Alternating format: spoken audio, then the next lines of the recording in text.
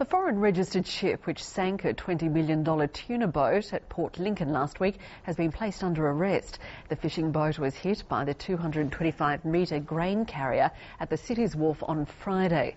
Boat owner Australian Fishing Enterprises today served the Liberian flagged Grand Rodosi with a federal court arrest warrant. The company is seeking about $28 million damages plus interest and costs from the ship's Greek owners.